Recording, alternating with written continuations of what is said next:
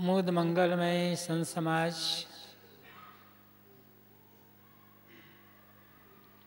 धर्म प्रेमी सज्जनों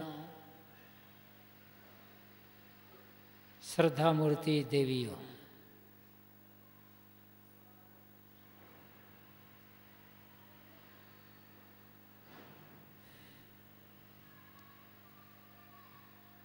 सदुर कबीर की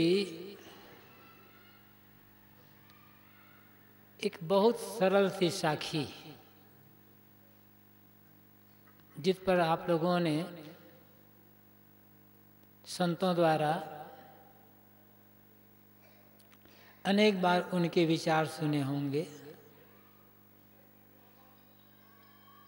आज मैं उसी साखी पर कुछ विचार रखूँगा।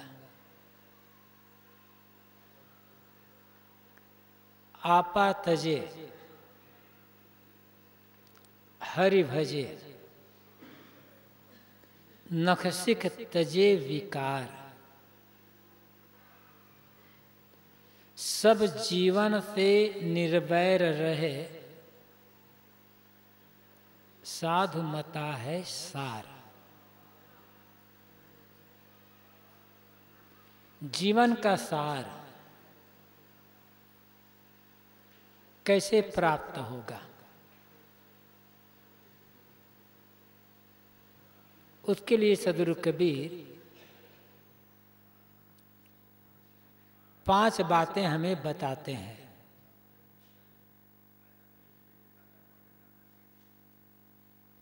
अहंकार का त्याग, हरि का भजन, नख से शिखा तक के जितने भी विकार हैं सभी का त्याग। प्राणी मात्र के प्रति निर्वैरत्व और साधु मत ग्रहण सुविचारित पथ पर चलना, त्याग भाव ग्रहण करना। हम इन पाँचों बातों पर थोड़ा थोड़ा क्रम से विचार करें। पहली बात है आपा तजे आपा के कई अर्थ होते हैं, लेकिन यहाँ तजने की बात है।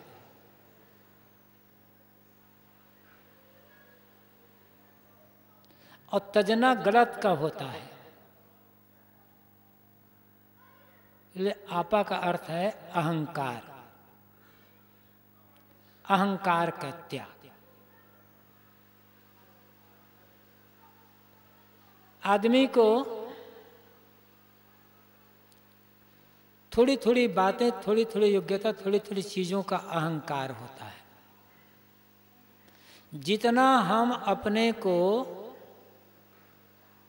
बाहर से जोड़ते जाएँगे उतना मन में अहंकार बढ़ता जाएगा।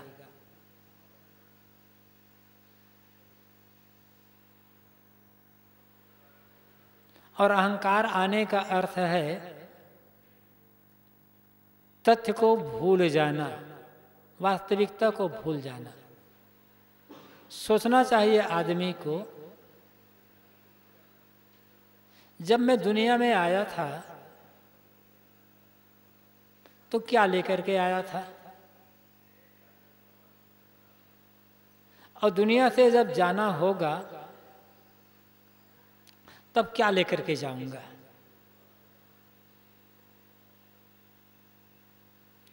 खाली हाथ दुनिया में आए थे और खाली हाथ यहाँ से चला जाना होगा। न तो साथ में कुछ लाए और ना साथ में कुछ लेकर जा सकेंगे, फिर अहंकार किसका?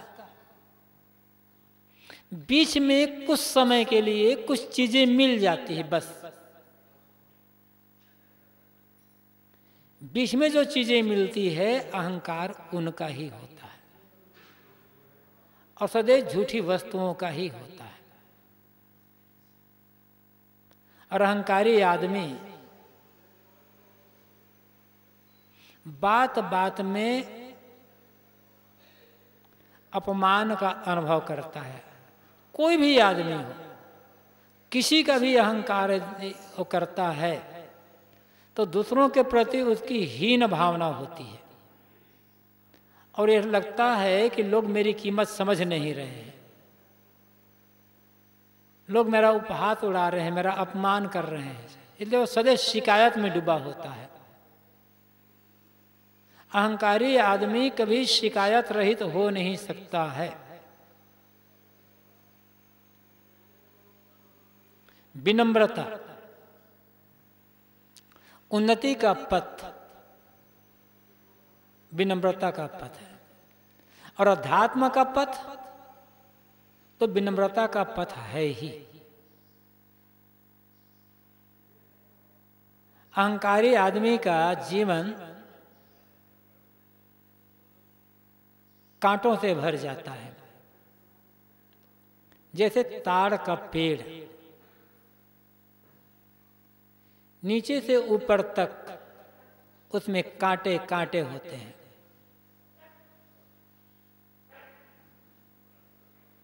और कांटों का स्वभाव है शुभना।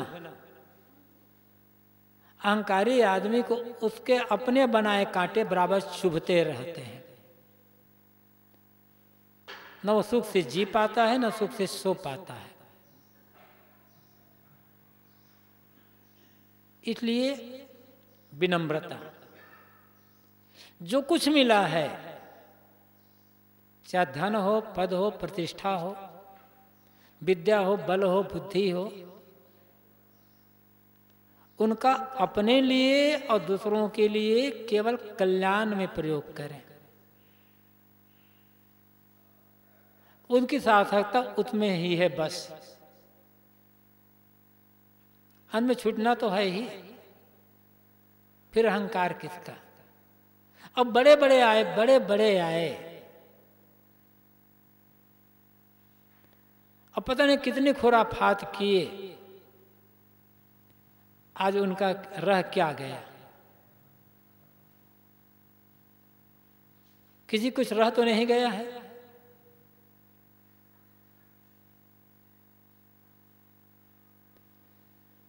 अहंकार जब भी आए, जिसका अहंकार हो, उसमें अपने से बड़ों को देखिए। हम अपने से छोटों को देखते हैं और उनसे अपने को ज़्यादा सौभाग्यशाली मान लेते हैं। उनके पास तो ये नहीं, उनके पास तो ये नहीं, उनके पास तो ये नहीं है, उनके पास नहीं, मेरे पास ये, मेरे पास ये। अहंकार जब आए तो अपने से बड़ों को देखें, पता चलेगा उनके सामने तो मैं कुछ भी नहीं हूँ। और यदि अपने में हीन भावना आ जाए तो अपने से छोटों को देखिए। मेरे पास तो इतनी चीज़ें हैं और मैं दुखी हूँ। उनके पास तो कुछ भी, मैं जितना मेरे पास है, उनका आधा का आधा भी नहीं है। वो प्रसन्नता से जी रहे हैं। तो आपकी हीन भावना दूर हो जाएगी। जो मिला है, उसके साथ आप प्रसन्नता से जीना चाहते हैं। तो रास्ता यही है। अहंकार आने पर अपने से बड़ों को देखना चाहिए। और हीन भावना आने पर अपने से छोटों को। तब फिर न हीन भावना रहेगी, न अहम भाव रहेगा। अहंकार आदमी के सारे सुख को सोख लेता है। इसलिए सदगुरु कहते हैं आपातज अहंकार का त्याग। जो हमारा नहीं होता है, उनका ही अहंकार होता है। अहंकार छोड़ दें, लगेगा कि सब चारों तरफ़ जो मिले हैं, मेरे मित्र हैं। सदगुरु कबीर ने कहा है, या आपा को डारी दे, दया करे सब कोई। तुम अहंकार छोड़ दो। पूरी दुनिया, पूरी प्रकृति की तुम पर कृपा है। अहंकार कारण से हम समझ नहीं पाते हैं कि पूरी प्रकृति, पूरी सत्ता या जिन लोग बीच रहते हैं, उन सब की कितनी कृपा हमारे पास में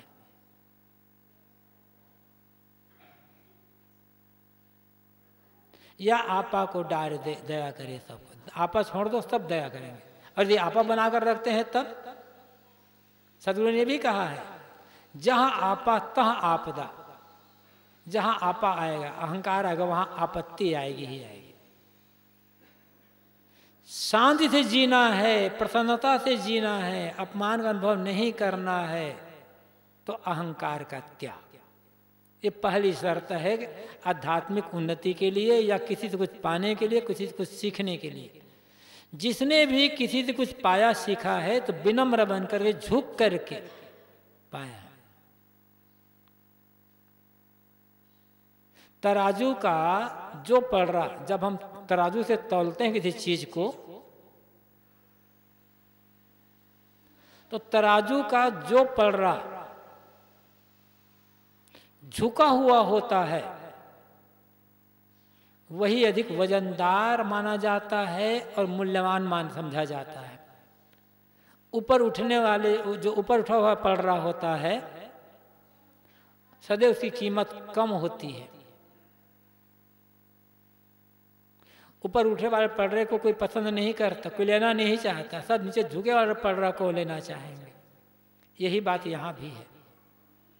जितना झुकेंगे जितना झुकेंगे उतने लोगों के प्रिय पात्र बनते चले जाएँगे। भ्रम होता है कि यदि हम झुकने लग जाएँ तो लोग हमें दबाना शुरू कर देंगे। ये भ्रम झुकने नहीं देता। कोई दबाएगा नहीं आपको। झुकना शुरू तो करें, झुकने वाला ही ऊपर उड़ता है। जब भी देखना होगा। जब भी आपको किसी सीढ़ी पर चढ़ना होगा, चाहे वो घर की सीढ़ी पर हो, ऊंचाई पर, या किसी मंदिर की सीढ़ी पर हो, या किसी पहाड़ की सीढ़ी पर हो, सीढ़ी पर चढ़ने वाला आदमी सदैव झुक करके चलता है, अकड़ कर नहीं चलता। कुछ न कुछ झुका होगा वो, तभी सीढ़ी चढ़ पाएगा। नीचे से ऊपर जाना है तो थोड़ा झुकना पड़ेगा। और ऊपर से नीचे ऐसा आना है, तब झुकोगे तो गिर पड़ोगे। अकड़ना पड़ता मतलब अकड़बाज आदमी ऊपर से नीचे आता है, और झुका हुआ आदमी नीचे से ऊपर जाता है।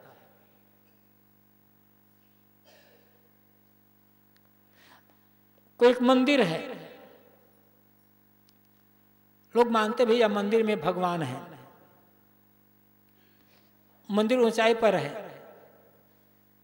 जितना झुक करके चलोगे चढ़ते जाओ ऊपर, उतना भगवान के निकट पहुँचते जाओगे। और जब सीढ़ी से जितना अकड़ कर उतरोगे तो उतना भगवान से दूर होते चले जाओगे। अब मर्ज़ी झुक करके चलना है तो कल्याण के निकट पहुँचना है, या अकड़ बढ़ कर चलना है तो कल्याण से दूर होना है। अहंकार का मतलब है अकड़ करके चलना। और जितना अकड़बाजी होगी, उतने अपने कल्याण से, अपने परमात्मा से, अपनी मानसिक शांति, प्रसन्नता से, अपने आप से हम दूर होते चले जाएँगे। इसलिए सदगुरु कहते हैं आपात जे अहंकार का त्याग करो। हरि भजे, हरि का भजन करो। कबीर का हरि, कल भी बात आई थी कि कबीर का हरि बाहर नहीं है। ऐसे हरि के बहुत सारे अर्थ होते हैं। यहाँ हरि के तीन अर्थ हैं, जिनका भजन करना है। और भजन के भी अनेक अर्थ हैं। भजन का अर्थ चिंतन करना, सेवा करना और ग्रहण करना। भजन कर भजन कर से त्याग करना भी होता है। भजन कर भजन कर त्याग करना है और भजन कर स्वीकार करना है। दोनों विपरीत है, लेकिन भजन के दोनों अर्थ होते हैं। हरि भजे। यहाँ का हरि तीन अर्थों में है। हरि का अर्थ है गुरु। हरि का अर्थ है ज्ञान। और हरि का अर्थ है आत्मा। गुरु की सेवा करना, गुरु का भजन करना है।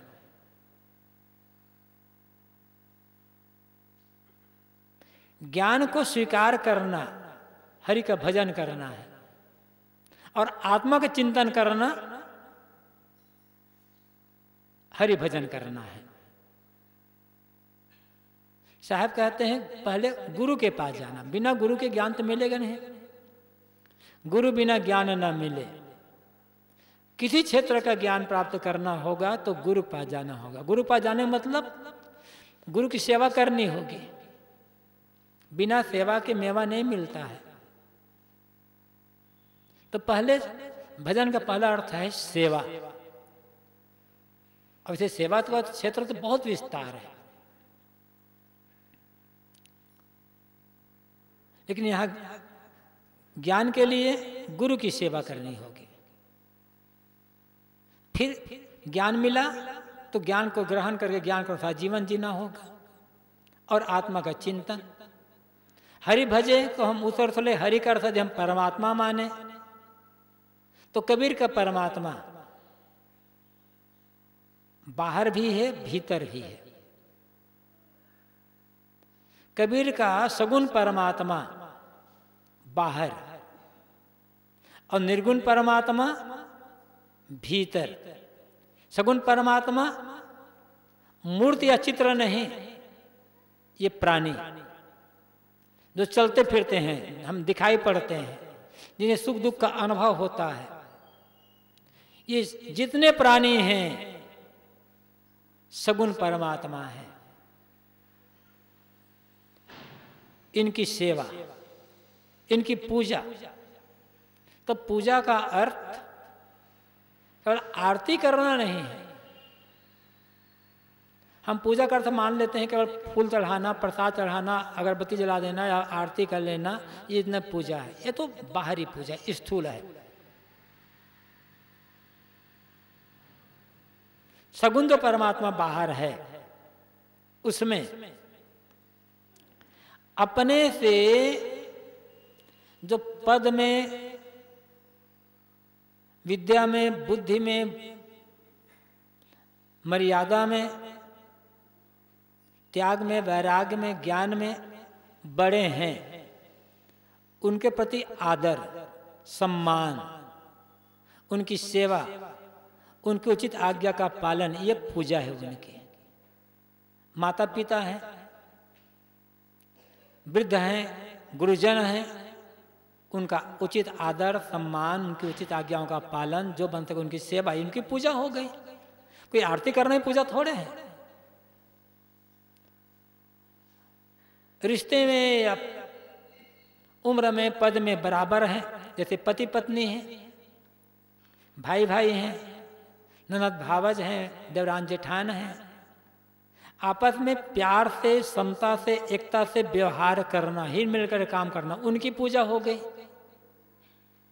जो छोटे हैं अपने से, किसी स्थिति में, जैसे बिहारी स्थिति में, उनके लिए करुणा स्नेह वात्सल्य का व्यवहार, उनके रक्षा करना, उनकी पूजा है। ये हरि का भजन है। लेकिन यही काम हम नहीं करते, क्योंकि इस काम में कठिनाई है। इस काम में स्वार्थ को जितना पड़ेगा, मारना पड़ेगा। हम ऐसे हरि की सेवा करना चाहते हैं, जो हमें रोके ना, टोके ना, अब कुछ ना कहे। जो न बोले, ना, न बरताए, ना ना आशीर्वाद उनकी पूजा करते हैं। उसे भूल जाते हैं। असली हरि को भूल गए। ये सगुण परमात्मा, ये जितने प्राणी हैं, प्राणियों में खास करके मनुष्य, इनके प्रति देवत्व बुद्धि रखना और यथा योग्य व्यवहार करना, ये हरि का भजन करना है। और निर्गुण परमात्मा भीतर है, आत्मा के रूप में। अपने आत्मा का चिंतन करना शरीर मरेगा, आत्मा का नाश तो नहीं होगा। हमारा ध्यान सब समय शरीर केंद्रित रहता है। सो शरीर केंद्रित रहती है। शरीर से ऊपर उड़ करके हमको सोच नहीं पाते ये नहीं सोचते कि आखिर शरीर जिसे हम रोज संवार रहे हैं जिसका श्रृंगार कर रहे हैं जिसे के लिए जिसके लिए बहुत क्या कर रहे हैं। सुंदर किसी कारण से है? शरीर में जो सुंदरता है, उस जीव के कारण से, आत्मा के कारण से है। सुंदरता शरीर में नहीं है, सुंदरता जी आत्मा में है। वही निकल जाए। फिर सुंदर से सुंदर, स्वस्थ युवक युवक, युवती हो, कोई पूछने वाला नहीं, कोई प्यार करने वाला नहीं होगा।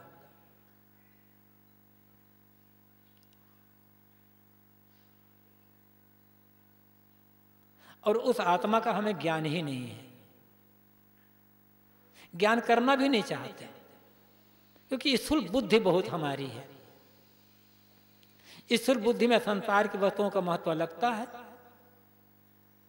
तो हरिभजन का अर्थ है शरीर, आत्मचिंतन करना। शरीर की व्यवस्था तो करनी पड़ेगी, मजबूरी है। लेकिन क्यों? किसके लिए? शरीर की रक्षा करना है, नहलाना है, धुलाना है, भोजन करना है, दवाई पानी करना है, किसके लिए? खाली शरीर के लिए? ये तो जानवर बढ़िया कर लेते हैं। हम तो जानवर ज़्यादा स्वस्थ रहते हैं, निश्चिंत रहते हैं, निर्भय रहते हैं। शरीर का का पालन पोषण करना उद्देश्य नहीं है, मजबूरी है। शरीर में रह करके आत्मकल्याण करना ये उद्देश्य है। अब बिना शरीर के काम होगा नहीं, इसलिए शरीर की रक्षा तो करना है। तो हरिभजन का अर्थ है, देहाभिमान का त्याग करके आत्म अनुराग करना आत्मचिंतन करना आत्मा भाव में मन को लगा करके रखना। लेकिन ये होगा कैसे? उसके लिए करना क्या होगा? आत्मचिंतन में मन कब लगेगा? आत्मानुराग कब होगा? जब मन थोड़ा शुद्ध होगा, निर्मल होगा। उसके लिए सदगुरु कबीर कहते हैं नख सिख तजे विकार, नख से शिखा तक, एड़ी से चोटी तक, जितने विकार हैं सबका त्याग। मतलब हमारे जीवन में जितने भी दुष्कर्म हैं, चाहे वो खाने पीने को लेकर हो, चाहे बोलने बरतने को लेकर के हो, चाहे व्यवहार को लेकर हो, चाहे काम धाम करने को लेकर के हो, चाहे सोचने को लेकर के हो, सारी बुराइयों का त्याग, ये असली भजन है। ये असली पूजा है।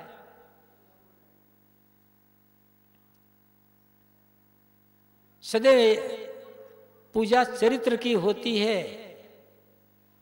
हम लोग चित्र को संवार रहे हैं। चित्र क्या? ये चेहरा। सदैव चेहरा को संवारते हैं, लेकिन पूजा चेहरा की नहीं होती है, पूजा चरित्र की होती है। और उसके लिए हमारा कोई ध्यान ही नहीं है। चरित्र मतलब जीवन के हमारे तन मन वचन के जितने शुभ कर्म हैं, सबका समाहार चरित्र है। खाली चरित्र अमुक बात में केंद्रित नहीं है।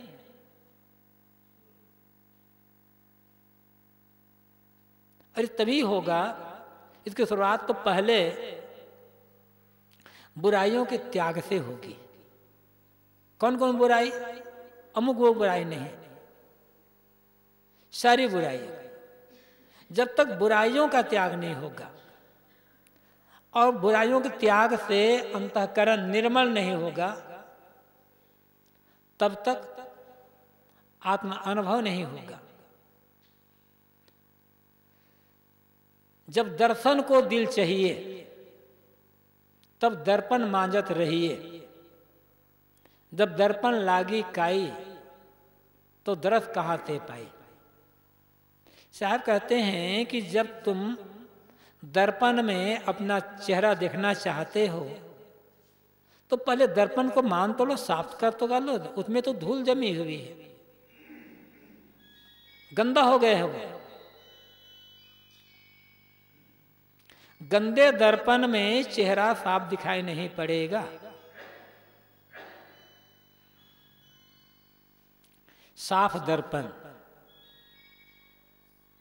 क्या हो सकता है? तो हम दर्पण तो मानने का काम करते हैं।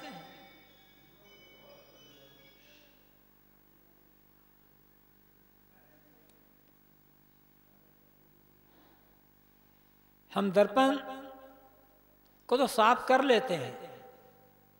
दर्पण में यदि हमारा चेहरा साफ़ दिखाई नहीं पड़ता है तो दर्पण को खूब रगड़ते, चिंता होती है। कभी ये चिंता हुई कि मन रूपी दर्पण में मुझे अपना आत्मा का दर्शन क्यों नहीं हो रहा है? मन रूपी दर्पण में तो तमाम काई है, धूल जमी हुई है, परत पर परत। सबको साफ़ करने सोचते हैं, सबको साफ़ करने को सोचते हैं, करना भी चाहिए। घर, आँगन, बर्तन, भाड़ा, कपड़े लत्ते शरीर, जितना बन सके सबको साफ़ रखना चाहिए। लेकिन उससे अधिक आवश्यक है जीवन की सफ़ाई, मन की सफ़ाई। घर द्वार में गंदगी कभी है तो कल्याण में बाधा नहीं पड़ेगी, लेकिन मन में गंदगी है तब कभी कल्याण का काम तो हो ही नहीं सकता है। इले सदुल कहते हैं, नक्सिक तजे विकार नक से सिखा तक विकार त्यागना। निरंतर अपने आप को मांझते रहना होगा। सुबह हो या शाम हो, बढ़िया यह होगा कि जब सुबह उठे तो बिस्तर पर बैठ जाएँ और सोचें कि मेरे जीवन में, मेरे मन में कौन कौन सी त्रुटियाँ हैं कौन कौन सी बुराइयाँ कौन कौन से विकार हैं?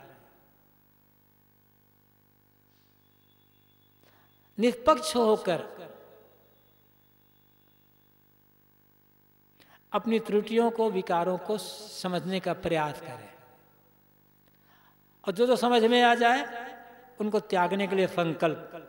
ऐसे सुबह सुबह सोकर उठने के बाद पाँच मिनट और रात्रि में सोने के पहले पाँच मिनट। यदि हम पाँच पाँच मिनट सुबह शाम ही समय दे दें अपने जीवन को निखारने के लिए रोज अपने विकारों के लिए, दोषों के लिए, गलतियों के लिए, ग्लानी पश्चाताप, त्यागने के लिए संकल्प, और अच्छे जो विचार हैं,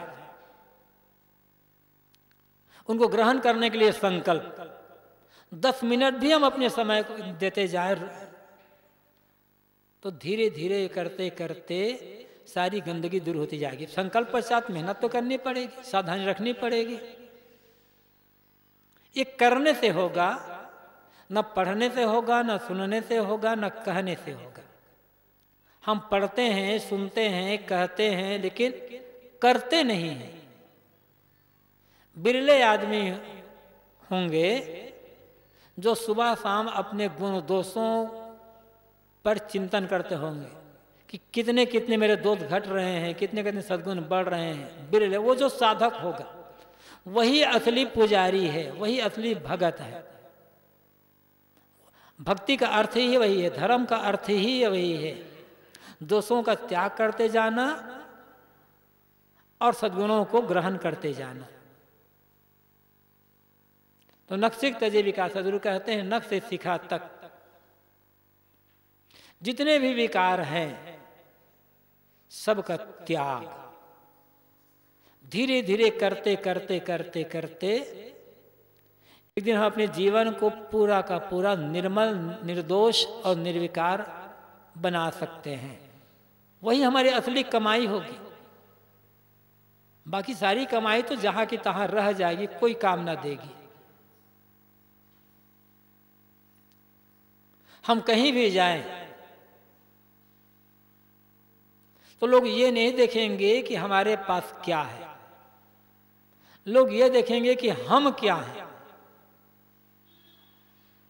हमारा स्वभाव, हमारा चाल चलन, हमारा आचरण, हमारे कर्म, हमारा व्यवहार, लोग इसके आधार पर हमारे मूल्यांकन करेंगे।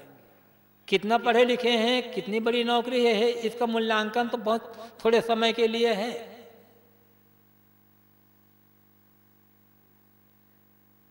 इसलिए अपने को संवारने का काम करना है। नक्सिक तजे विकार सदुर कहते हैं, नक्श शिखा तक के विकारों का त्याग करो। सब जीवन से निर्वैर रहे। हमारा मन निर्मल हो गया है, निर्विकार है। जीवन निर्दोष है। इसकी पहचान क्या होगी? प्राणी मात्र के प्रति निर्वैरत की भावना। पवित्र मन में किसी के लिए बैर भाव होगा ही नहीं। किसी के लिए मन में द्वेष है, घृणा है, बैर है, ते हमारे मन की गंदगी है। कोई गलत व्यवहार कर रहा है, गलत कर्म कर रहा है तो वह जाने, उसका फल उसे मिलेगा। लेकिन उसके लिए अपने मन को हम गंदा बना कर रखते हैं, बैर, उसके लिए बैर बना कर रखते हैं मन में तो नुकसान तो हमारा अपना हो गया ना। किसी के लिए हम बैर बनाते हैं, बैर का भाव रखते हैं तो दूसरों का क्या बिगड़ेगा? हम क्रोध की आग में, घृणा की आग में रात दिन जलते रह जाएँगे। किसी के भी प्रति, चाहे वो कितना गलत हो, निश्चित है कि जो गलत आदमी है, जिसको व्यवहार गलत है या अन्य सारी चीज़ें गलत है, उनके साथ रह करके व्यवहार निभाया नहीं जा सकता। फिर तमाम कठिनाई आएँगी असुविधा होगी और बिगाड़ होगा। तो साथ तो नहीं रहा जा सकता। वहाँ से हटना पड़ेगा। लेकिन हट करके भी उसके लिए बैर भाव मन में न लाए। किसी के, के लिए बैर भाव लाना अपने साथ ही दुश्मनी का व्यवहार करना है। और यही हम करते रह जाते हैं। हमारा कोई दुश्मन है मानो वो क्या सोचेगा? कि आदमी दुखी कैसे हो? आदमी परेशान कैसे रहे? इसकी कैसे हानि हो? दुश्मन अपने दुश्मन का, कोई व्यक्ति अपने दुश्मन का यही चाहते हो हानि पहुंचाना, दुखी करना, अपमान करना, ये तो चाहते हैं ना? और किसी के लिए बैर बना करके हम खुद दुखी हो रहे हैं तो दुश्मनी साथ दुश्मनी व्यवहार तो कर ही रहे हैं। और फिर भी मानते हैं कि हम बड़े बुद्धिमान हैं, हम तो भगवान के भगत हैं। यदि भगवान के भगत हैं तो आपका भगवान आपके दुश्मन में भी बैठा हुआ है। तो जब भगवान की पूजा आराधना करोगे या भगवान से बैर करोगे? लोग यही कहते हैं कि भगवान तो कन कन में है, भगवान तो सभी घटों में बैठा है। तो जिससे आप दुश्मनी कर रहे हो, जिसके लिए जिसके लिए बैर, मन में बैर रखे हो, क्या उसमें भगवान नहीं है आपका? तो इसमें भी भगवान है तो वैसा मतलब भगवान से बैर करना होगा। अब भगवान से बैर करके शांति से जियोगे कैसे? कल्याण का काम कैसे होगा चाहे जिस ढंग से सोचें। सदुरु कहते हैं, हैं सब जीवन से निर्भय। अमुक अमुक से नहीं। हम कैरपंथी हैं। तो हम ये माने कि हम तो खाली कैरपंथियों से बैर नहीं करेंगे बाकी से बैर करेंगे। तो अपने कबीर को समझ नहीं पाएँगे। हिंदू लोग समझते हैं, हम तो केवल हिंदुओं से प्रेम करेंगे, मुसलमान, बाकी से प्रेम नहीं करेंगे, बाकी से बैर रखेंगे। मुसलमान समझ ले, हम केवल मुसलमानों से प्रेम करेंगे, बाकी से बैर रखेंगे। ऐसे और लोग तो कोई अपने महापुरुष को समझ नहीं पाएगा कि अपने गुरु को, अपने महापुरुष को, अपने भगवान को समझने का अर्थ है, सबके साथ प्रेम का व्यवहार और बैर का त्याग। ये भजन की कसौटी है, ये पूजा की कसौटी है। सदगुरु कहते हैं, सब जीवन से निर्वैर, प्राणी मात्र के प्रति निर्वैरत्व का भाव। निर्वैरी बरते जगमाही मनबच कर्म घात को नाही। संसार में निर्वैर होकर के रहना है, और ध्यान यह रखना है कि मनसा मनसावाचक कर्मना किसी का घात न होने पाए।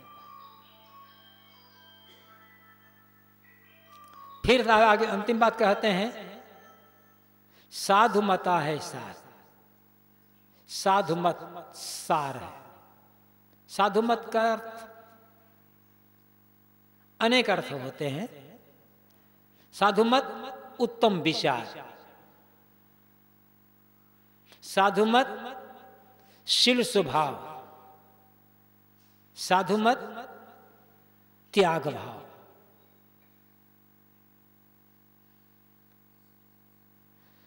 पहले है, साधु मत का अर्थ होता है उत्तम विचार। साधु का अर्थ ही होता है, उत्तम, बढ़िया। हर समय मन में अच्छे विचार रखे। जो सोचे अच्छा सोचे। अपना भला चाहते हैं तो अच्छा सोचे। कभी किसी की बुराई न सोचे। अच्छा सोचते सोचते जीवन एक दिन ऊपर उड़ता जाएगा अच्छा होता चला जाएगा। फिर शिल्प स्वभाव, सब प्रति कोमलता का व्यवहार, कोमल भाव और त्याग भाव। बिना त्याग भाव के कोई आदमी सुखी जीवन जी नहीं सकता। त्याग का अर्थ केवल घर द्वार छोड़ना, त्याग नहीं है। मन की मलिनता का त्याग। त्याग का मतलब निष्काम होना। बाहर से तो छोड़ दिए। अब भीतर से पकड़ बनी हुई है। तो भीतर की पकड़ का उलझा देगी, रुला, रुलाती रहेगी। त्याग। ये सोचना होगा कि आखिर कौन मेरा है और क्या मेरा है? त्याग में तो संतोष होगा। त्या, त्याग में स्वार्थ का त्याग होगा। असल में वस्तुता स्वार्थ का अहंकार का जो त्याग है मोह माया का जो त्याग है आसक्ति का कामना का जो त्याग है वही त्याग है। वही और जिस जिसके मन में मोह नहीं कामना नहीं वासना नहीं इच्छा नहीं तृष्णा नहीं आसक्ति नहीं वो तो साधु है तो सुविचारित पथ में चलना, सुंदर विचार रखना, मन से इस ईर्षा कामना का त्याग करके सबके साथ शील भावपूर्वक व्यवहार करना, ये साधु मत है। तो आप कहते इतने बात जब ग्रहण कर लोगे, तब जीवन का सार मिलेगा। जीवन का सार, हर समय मन की कृतार्थता। हर समय मन का प्रसन्न, शांत बने रहना। कभी किसी कमी का अनुभव ना होना और आदमी के मन में कमी कमी कमी का अनुभव होता है। ये कमी क्यों होती है? इच्छा बना बना कर।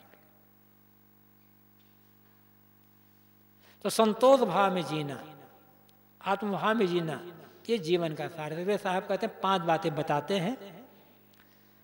आपा तजे, हरि भजे, नक्सिक तजे विकार। सब जीवन से निर्भर रहे साधुमता है सार। अहंकार का त्याग, हरि का भजन। हरि भजन मतलब संतों गुरुजनों की सेवा, ज्ञान को ग्रहण करना और आत्मचिंतन करना। ये हरि भजन। इसके लिए जीवन के सारे विकारों का त्याग, फिर प्राणी मात्र प्रति निर्भरत्व का भाव, और फिर अंत में त्याग भाव, संतोष, निष्कामता। जितना हमारा मन निष्काम होगा, उतना हमारा जीवन ऊपर उठेगा, आत्मानुभव होगा, और जीवन को हम सही ढंग से समझ सकेंगे। एक साखी में सदगुरु कबीर ने हमें बहुत सारी बातें बता दी है। समझना है, चिंतन करना है और समझ करके चिंतन मनन करके जीवन उनमें उतारना है, तब वो सार मिलेगा और तब जीवन हमारा कृतार्थ होगा। आप सबको धन्यवाद देते हुए अपनी वाणी को इस समय मैं यहीं पर विराम देता हूँ। बोलिए सदगुरु देव की जय। त्रिदिवसीय सत्संग समारोह का यह तीसरा दिन का पहला सत्र समापन की ओर है। समापन के पूर्व गुरुदेव जी एवं संत समाज की पूजा बंदगी होगी। उसके बाद भोजन आदि की व्यवस्था है। भोजन भी कर, करेंगे। इस सत्र के बाद दूसरा सत्र चार बजे पुनः फिर प्रारंभ होगा। आप सब उसमें भी सम्मिलित होकर के संत गुरुजनों के जो कल्याणकारी विचारों से लाभान्वित होंगे।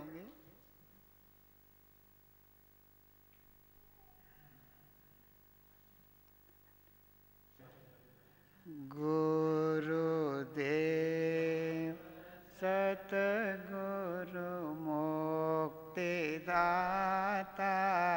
ते धूप दीपले पूज आल चंदन पुष्प चरण हार गल महादीजिए कर ज़ोर करूँ मैं?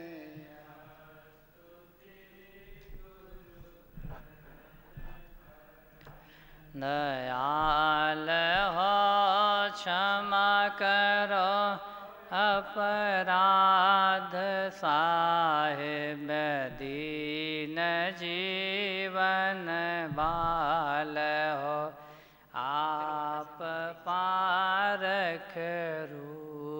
रूप साहेब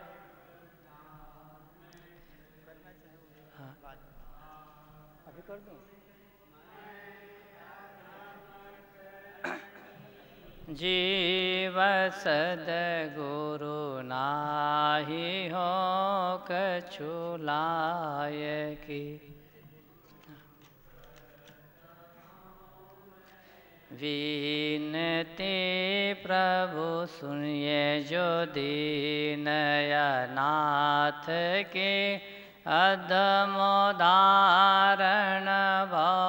भहारण जीवन कर सनाथ की जगत स्वामी अजीत साहेब परख गुण को गही सके, दया क्षमादि हो जिन में आपको सो लही सके। मोह में सदगुण नाही साहेब लहूँ मैं कैसे? जो भक्त सज्जन माता बहनें, गुरुदेव जी की बंदगी करना चाहें, वे आ सकते हैं और बंदगी कर सकते हैं। आप पारख रूप साहेब जानते सब माह की मैं अदम करने जीव सद गुरु नाही हो कछुल गुरु करत हूँ मैं विनती, प्रभु सुनिए जो दीन। अनाथ के अदमोदारण भवहार। जीवन करत सनाथ की जगत स्वामी अजीत साहेब परख गुण को गई सके दया क्षमादि होय जिन में आपको सोलय सदगुण नाही साहिब, लहूँ मैं कैसे आपको बार बार मैं करत विनती शरण लीजय दास को। शरण शरण, मैं शरण हूँ, कहत बने कछुनाए जानत हो। सबके ये सर्वोपरि करुणानिधि है स्वागतम मंगल करण शुभ आइए भोले हुए निज दास को चरणों में अपनाइए। गुरु करता हूँ मैं बीनती प्रभु सुनिए जो दीन नयनाथ की अदम उदाहरण भवहारण जीवन करत शरणाथ की जगत स्वामी अजीत साहिब हूँ मैं कैसे आपको बार करतों बिनती शरण लीजे दास को।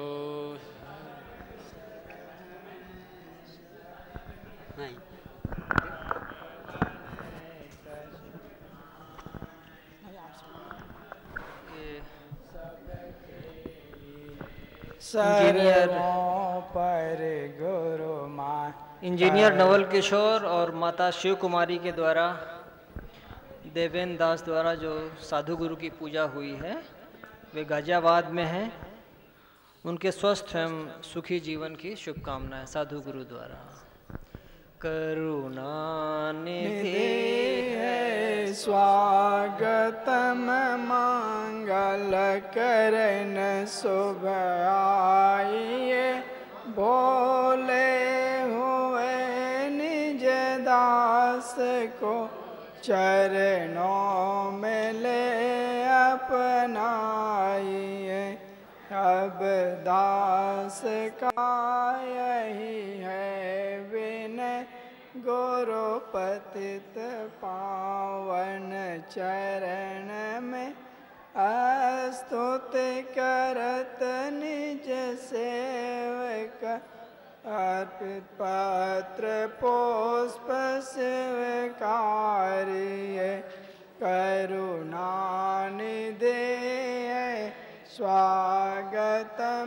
मंगल करण शुभ आइए भोले हुए निज दास को चरणों में ले अपनाइए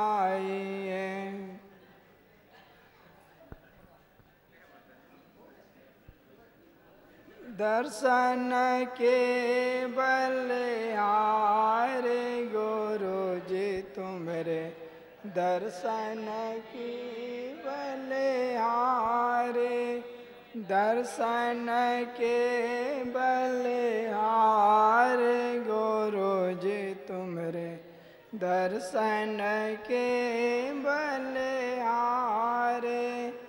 दूर देश से आप पधारे दूर देश से, आप पधारे सही सही कष्ट अपार आपका दर्शत है। स्वागत है कई बार आपका। स्वागत है बार अति आनंद भयो हम सबको। अति आनंद भयो हम सबको। पायो दर्श तुम्हारे आपका। स्वागत है बार स्वागत है कई बार आ। स्वागत है कई बार। स्वागत है कई बार आपका। स्वागत है कई बार। आरती जा आरती जा अयो हम सबको अति आनंद भयो। हम सबको पायो दरस तुम्हारे आपका। स्वागत है बार स्वागत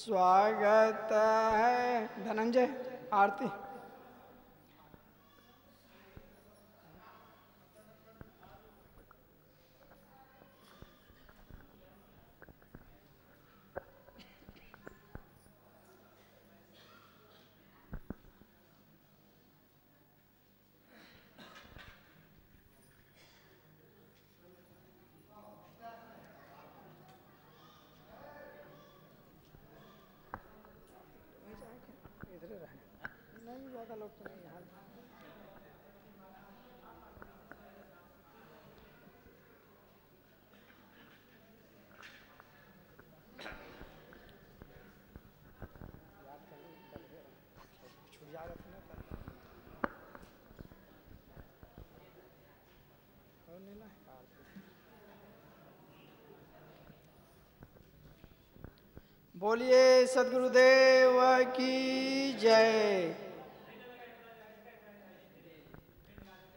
भीड़ नहीं लगाएँगे आप लोग एक एक करके आराम से आएँगे। आरती रहती हो गुरु आरती हो आरती गरीब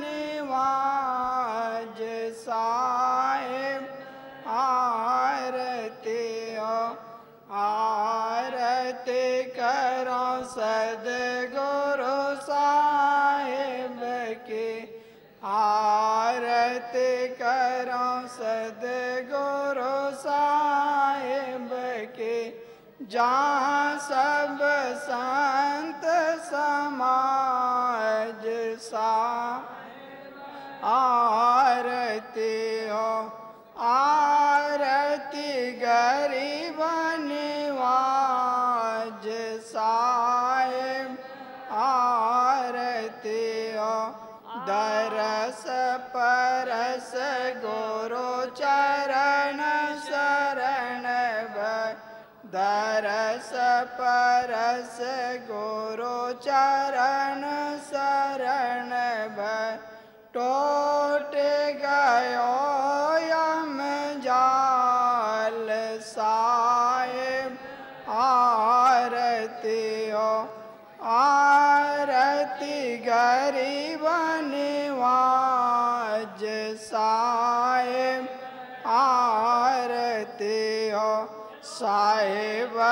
कबीर संतन की कृपा से साहेब कबीर संतन की कृपा से भयाऊँ परक परकाश साहेब आरती हो।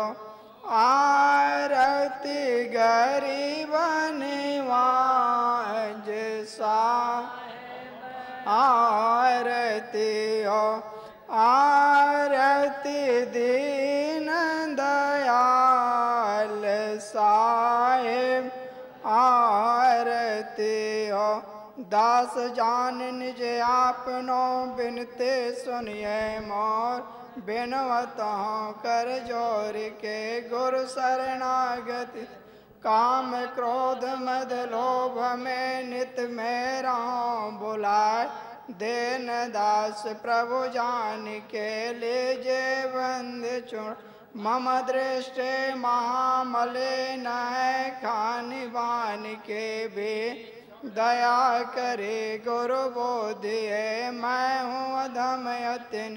काल जाल बहु फेर में पर निपट गंवा शरण आए के लाज है साहेब ने। मन बच कर्म गुरु साधु से टोटे नाम नए। बंद चौरे आदिजिए वरदान सदायक्ष साहेब के दरबार में कमे काऊ के ना। बंदो मोहि पावे नहीं चोक चाकरे।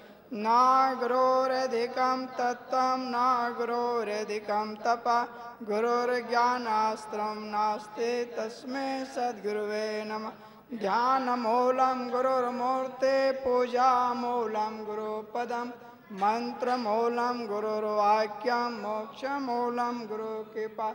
गुरुर्देवो, गुरुर्धर्मो गुरुर्निष्ठा परं तपः गुरु परतरम नास्ते नास्ते तत्वम गुरु परम सब लोग जहाँ पर हैं, बैठ जाएँ। बंदों सन्मुख पार की, शेष भेंट धरे हाँ। बचन उचारों बंदगी सत्य प्रेम के साए बंदगी साए बंदगी साए बंदगी। बोलिए सदगुरु देव की जय। सदगुरु कबीर साहेब की सदगुरु अभिलाष साहेब की जय साहेब।